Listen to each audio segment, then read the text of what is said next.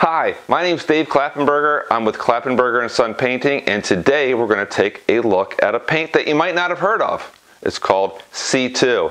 You can't find it in big box stores like Home Depot.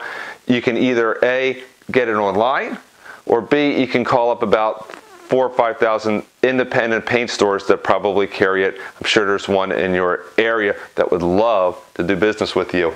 This C2 paint uh, that we're going to apply today is a matte finish. And it comes in sheens all the way from flat, matte, eggshell, satin, semi-gloss, and even a gloss. So it comes in a variety of sheens. Its sort of uniqueness is that it's the only paint that I'm aware of that doesn't use black as a pigment. They ground their pigments longer than most paints do, so it, it should help with the coverage of the paint. It's a premium grade paint. That means, it used to mean a premium grade paint meant that it cost 40, 50, maybe $60. Now premium grade paints mean they cost 60 to $110. The C2 falls into the category of $72.99, I believe. You can get it online. Uh, and it doesn't matter whether you buy a flat or a gloss. It's $72.99 across the board. One way that C2 does save you some money is if you go to one of the independent paint stores, they'll set, they'll, they have these huge samples that you can take home with you.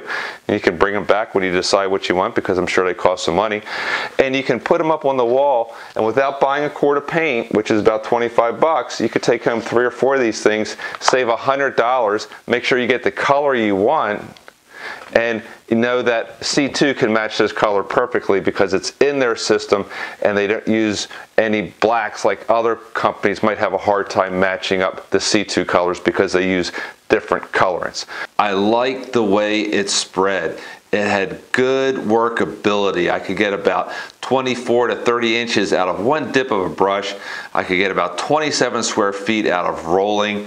The can says that it gets between 400 and 450 square feet a gallon, and the industry standard is about 300 to 350.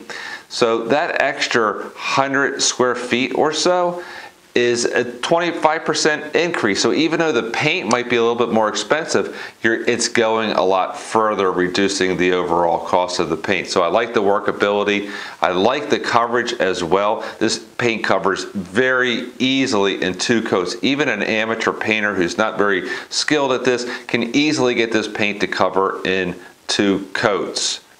C2 matte finish is a low VOC paint. I had the windows cracked. There was still a smell of paint in the air. My daughter came over about two hours after I was done painting and said, oh, I smell that, I can smell that you painted. So there is a lingering effect with the odor, but it was very moderate. And the splatter of the paint was minimal. Yes, there was some blue splatters on the baseboard, but nothing to get too excited about, being that I was going to paint the baseboard anyway. Just use some drop cloths and you shall be fine. Now, we're going to let the paint cure for 14 days, and then we're going to give it a washability and durability test. All right, we have some crayon, pencil mark, mustard, ketchup, uh, Cabernet, and some dark French roast coffee. Time to get some Krud Kutter and go ahead and, that says Krud Kutter, and go ahead and spray it on. Watch the mustard turn orangey, and let's see what this bad boy does. The C2 matte finish turned out to be a very washable paint. After 2 minutes and 11 seconds of cleaning the walls to get that mustard stain off and the ketchup and the mustard, it all came off, but so did a teeny bit of paint, just a little bit of blue hue. But the coffee stain's gone, the the wine stains gone, the crayons, pencil marks, ketchup, mustard, gone. Whoops, there's a little teeny bit left in that angle. You can see a little bit of yellow there. But in this angle, it's completely gone. The durability of this paint was also fantastic. No burnishing of the wall. The overall finish looked untouched, unscathed by the 2 minutes and 11 seconds of cleaning. Let's review Luxe Matte Finish by C2.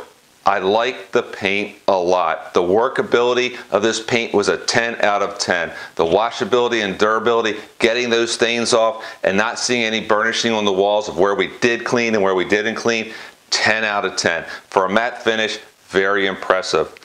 The value of this paint at $72.99 is my only concern. Is it worth it? Is it worth a premium grade cost like that when you can get other paints for maybe $45, $50 with some of these same characteristics?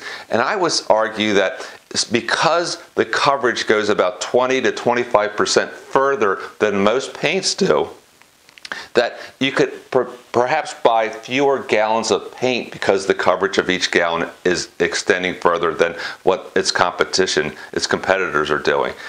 And the coverage is so good. You're covering this thing in two coats. This paint covers very well because of the finely graded, graded artesian pigments. So that makes this a really good value and makes the $72.99 a little bit easier to stomach.